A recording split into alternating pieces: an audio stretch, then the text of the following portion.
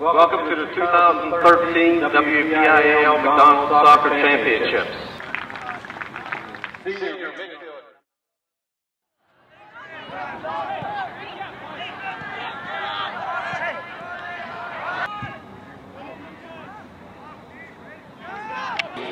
We put a pressure on those backs that was would be tough for any team to handle.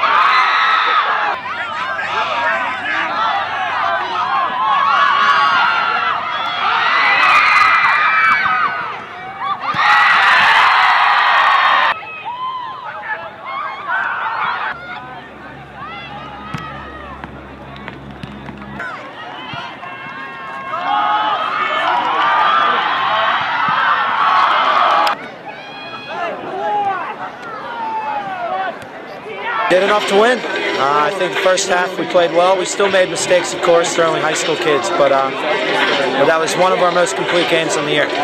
Played hard. That's exactly what you expect a playoff game to be.